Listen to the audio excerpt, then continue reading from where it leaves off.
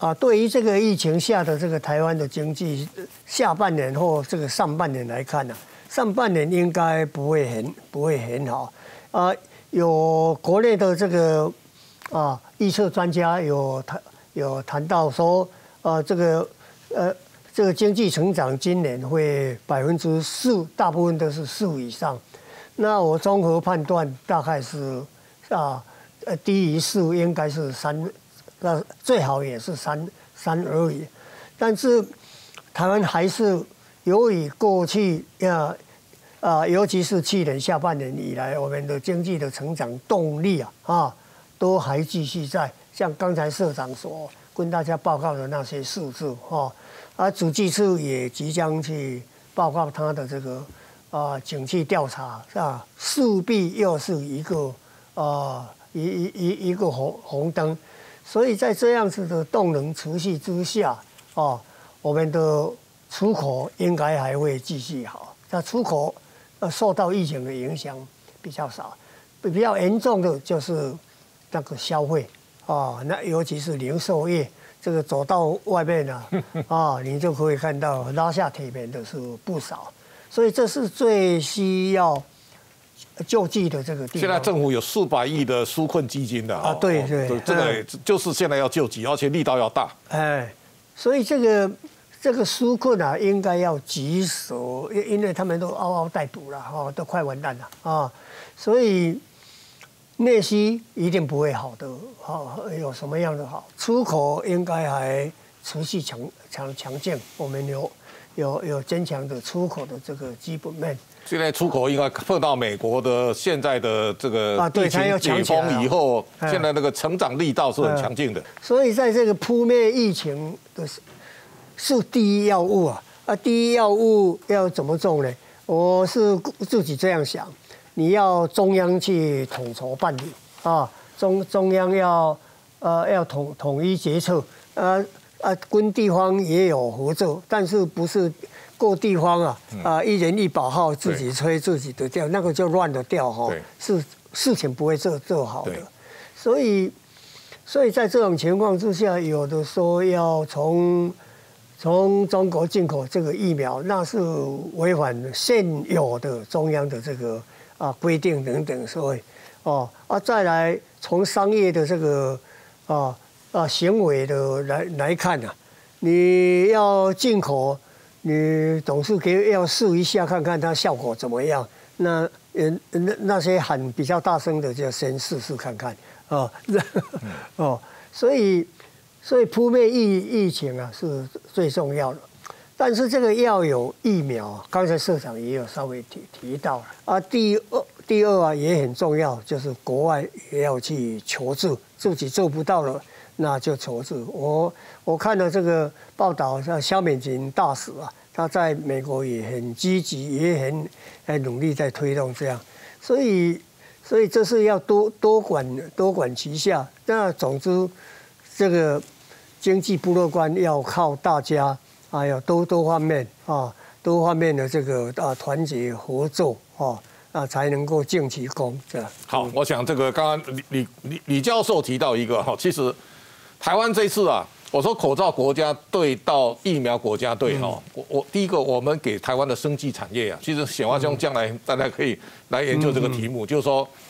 政府在租税奖奖励补贴各方面，其实我们我们对生技产业是政府非常重视的。嗯，但是你稍微比较一下，南韩现在像三星生物制剂公司啊，嗯，南韩的生技产业的出口，你看第它一到四月啊，十一亿七千多万美元。嗯，这个时候他想一想，南韩有能力把它的快筛产品，把那个一这个重要的防疫的这个物资啊，卖到全世界哦。那台湾我们对。生技产业的出口相对薄弱了哦。第二个就是说，你看那个辉瑞哦，它是现在全世界做最大，辉瑞股价根本没涨哎，它就是它公布那一天四十三块多，现在三十七块多美金嘛哈。你看它生产多少几亿剂的疫苗出来了，股价也没什么动啊。我们的高端疫苗没看到啊，股价已经跑到五块 四五百块了哦。那这个就是说，台湾我们经常在。股价的炒作非常勇猛，但是在实质的研发上呢，其实台湾相对是弱势。那这个时候要不在关键时刻，你有没有办法展现那个实力？我觉得那个是很很重要的一个命脉。那我想，小华兄在这一次你一直都关怀台湾，你把这次疫情对产业界的冲击跟影响，先跟大家说明一下。这次我大概这两个礼拜分别有电话访问以前呃几个台湾的产业界的一些比较资深的老板呢，包括宜进。那个纺拓会的董董事长詹正田董事长，包括五茂陈进才董事长等等啦，包括各行各业的老板，我在在在这里跟大家报告，目前得到的大家因为台湾的厂商呢，大部分过去都是在国际化，所以他们过去在包括中国大陆，包括在东南亚地区，呃，防疫上都有相当的经验了，这次大家得都不敢掉以轻心。但是现在目前那个因为美国起来，现在每一个公司的单子都饱饱的，嗯，尤其外销的，包括纺织啦等等，我想从股票走势各位就很清楚，所以他们都非常非常小心哦。尤其像那个宜进那个詹董事长讲说，因为大部分都是我们上游的，都不能在台湾，所以对上游他们的影响比较小。当然，对于人员的这个分流啦，包括这个。这个异地办公啦，包括在家办公啦，包括那个同同仁在公司里面不能走动了，不能窜来窜去哦，这个东西都一定必要了哦。所以他们这个方面比较不担心。第二个的话就是说，万一我们问说，万一不幸有员工染疫怎么办？当然，包括台湾广达啦、光宝啦等等，都有，包括台积电都有一两位员工去染疫，他们同。大部分都说染疫了以后马上就隔离，隔离完了以后马上就消毒。嗯，所以台湾的企业基本上本身这方面是守得非常非常的好，所以呃比较不担心的。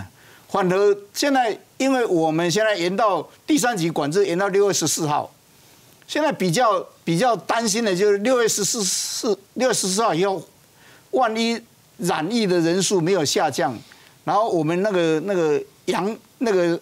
那个筛选出来那个阳阳率呢，没有没有下降，没有下降到很多，那这时候怎么办？你要启动封城，要非常非常的小心，这是要考验。哎，那个县市首长，我讲最好少讲哦。对，这个要考验台湾政府的智慧哦。这个这个下去是不得了，因为现在整个我们在这里都讲过几次了，现在全世界的产业是已经在世界大战了。我想看从美中就开始了嘛，所以在这在这个情况下，台湾本身你就是靠。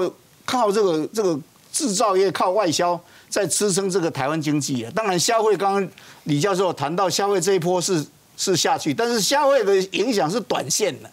台湾的消费能力还是在，是因为短线没有出来，所以短期的经济经济的这个影响不算什么。我们比较在意的是长期的这个这个产业的竞争呢。那所以我们如果全国如果上下一心，就是大家全岛一心的话呢，大家团结防疫。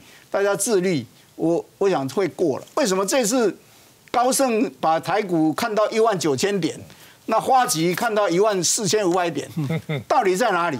到底就是在在看台湾的防疫能不能成功。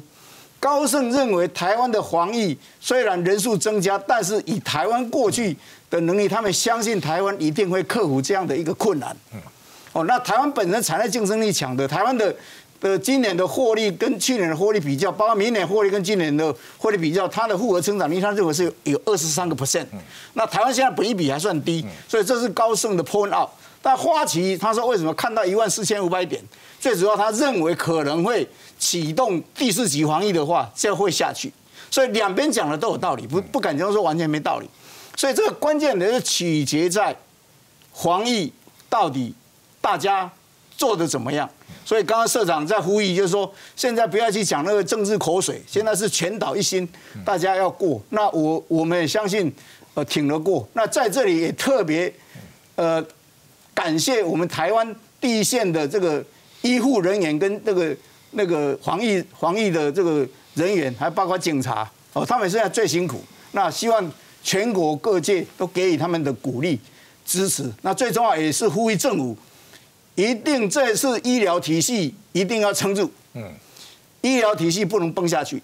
那我相信，我过去台湾对台湾的医疗的这个这个这个教育了，跟台湾医疗的这个水准，我们相信一定会挺过去。所以，我我对这次台湾这个产业，包括政府的这个这个智慧，应该不用启动到封城。嗯，那不到封城的话，台湾的产业会一直持续竞争下去。这个 大概上礼拜啊，我看沈荣金副院长有一天啊，我刚下班的时候，他打电话来了，我说政府一定要请全力啊。不要变成到封城的地步我说你要守住生产线哦。他说他全力以赴啊哈，这个也是国人呐，大家可以稍微比较稍微乐观了一点的地方。好，刚刚显化中提到了高盛的一万九千点，它里面有五个观点，我特别给大家稍微报告一下。第一个，他认为台湾总体经济非常好，他他认为台湾的全整体上市贵公司营业额啊有百分之七十二来自境外哦，来海外哈。那这个时候你可以知道。他说：“台湾如果疫情加重，但是海外的比重啊，其实对台湾影响没有那么大。”第二个呢，他说企业盈利，他说首季财报亮眼，高盛调升台股，二零二一跟二零二二年的获利的年增率达二十三趴。他说如果不含台积电，今年二零二一年台湾的盈利盈这个企业盈利成长四十七趴，二零二二年是二八趴哈，所以它台湾的成长驱动优于境内的相关的市场。第三个呢，他他说台股平价便宜，他说如果不计入台积电，台股本益比大概十二点二倍，他说比总整体市场这个本益比相对是低的。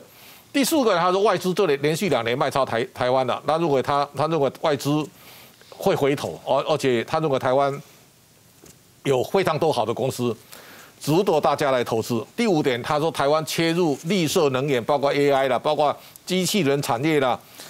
台湾有非常强大的未来的愿景的公司啊，值得大家来投资。高盛的五点是这个哈，那这时候我们也大家看到，在这一次文在寅到美国，其实大家可以看到，在两个月前是日本的首相菅义伟，那么去看拜登，那这个时候其实都谈到台湾的问题，为什么？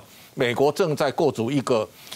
整个亚太市场的一个黄线哈，那是都冲着中国来的，包括在这一次中欧的投资协议呢喊停，我相信未来这个区域啊一定会发生非常巨大的变化。好，那这个时候呢，我们可以看到，今年其实还有一个很大的改变，就是说中国现在在紧缩，包括他对那个反垄断的机制啊，中国在收敛，但美国这次是用尽吃奶力啊。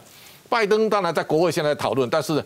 两兆两千五百亿美元的扩大基础建设计划会不会打折？那我想还有的讨论的空间。但是今年对全世界来讲最大的亮点，美国的经济开始持续往上，我相信这个力道啊是非常强劲的。